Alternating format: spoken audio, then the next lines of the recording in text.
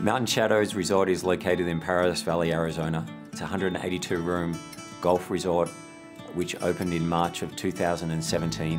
When we began the process of opening Mountain Shadows, I tried to figure out a way that we could join the three properties, Sanctuary, Hotel Valley Ho, and Mountain Shadows closer together. Moving to Opera Cloud seemed to be a logical solution. Since we went live with Opera Cloud in the beginning of 2017, I think overall it's been a fantastic experience.